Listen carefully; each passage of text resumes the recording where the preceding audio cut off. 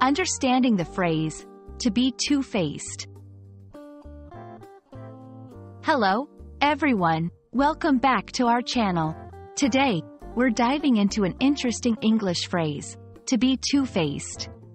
This phrase often pops up in everyday conversations, books, and movies, so it's a great addition to your English vocabulary. Let's explore what it means, its origins, and how to use it correctly. Stay tuned.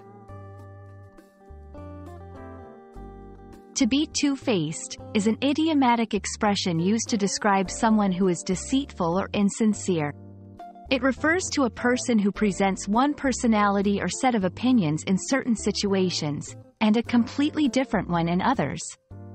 Think of it as someone wearing a mask, showing one face to some people and a different face to others. This phrase has a negative connotation and is often used to describe dishonesty in relationships or personal interactions. The phrase, two-faced, is believed to have its roots in Roman mythology, specifically in the character of Janus, the god of beginnings, gates, transitions, time, duality, and endings. Janus is usually depicted as having two faces, each looking in opposite directions. This imagery perfectly captures the essence of someone who is two-faced. They look and act differently depending on their audience or situation.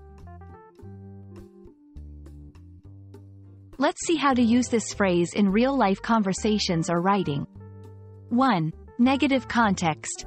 I don't trust her. She's been two-faced about the whole situation. 2. Observational context. It's disheartening to see how two-faced people can be when they want something. 3. Reflective context.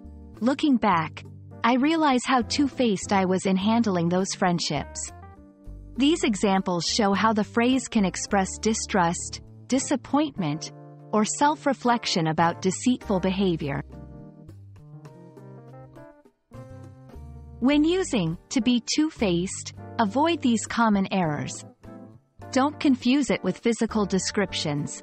It's about character, not appearance. Context matters. Use it in situations involving deceit or insincerity, not just simple changes in opinion. Be sensitive. Accusing someone of being two-faced is a strong statement and can be offensive.